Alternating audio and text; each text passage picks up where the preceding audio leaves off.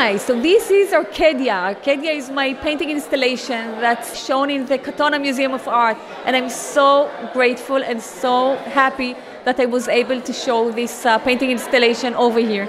I'm really inspired by turning a two dimensional painting into a three dimensional painting installation.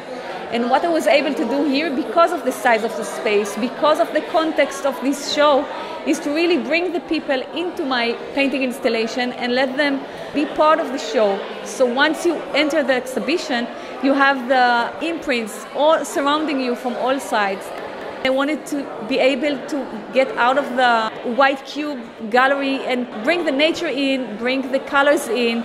There is one large scroll, 25 yards long, which is hanging on this side, and it's all made with the plants from New York City.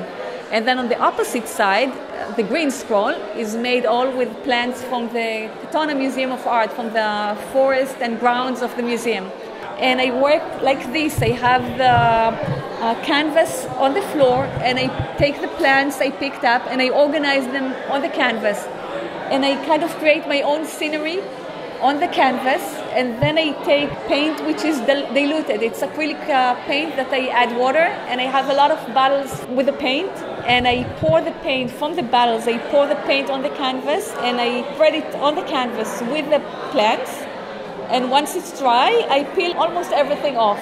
So it's actually the nature is painting itself in the context of what I created.